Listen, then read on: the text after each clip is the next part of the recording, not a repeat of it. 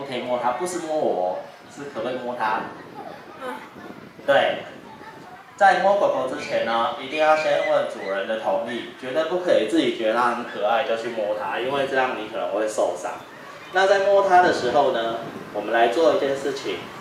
好，你站在它前面，再靠近一点。你这样会不会觉得压力很大？因为它贴在你前面，会不会觉得很可怕？对。为什么呢？因为狗狗你们的体型都比狗狗还要大。如果你直接在它面前的话，它会觉得说你要干什么。所以呢，你要摸它的时候，当主人说可以的时候，你就要蹲下。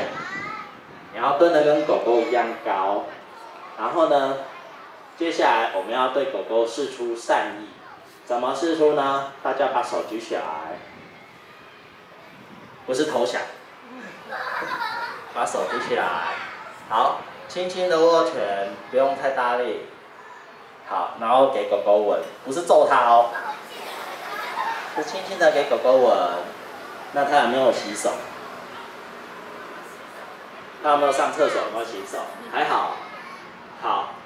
你给狗狗吻，假如说狗狗有吻你，或者是其实狗狗可能不吻你，可是狗狗没有抗拒你的话，接下来我们要怎么摸狗狗呢？你不可以直接摸它的头，因为它会吓到。还有，你不可以去摸它的屁股，也不可以去摸它的尾巴，你不可以去摸狗狗看不到的地方，你只能先摸。有没有人知道狗狗最喜欢被人家摸哪里啊？哪里？屁股不可以摸，背背也不可以直接摸，因为狗狗看不到。狗狗其实最喜欢被人家摸它的下巴，所以你只要摸它的下巴，你会发现一件事情：狗狗的头会越抬越高，因为它很舒服，尤其是它的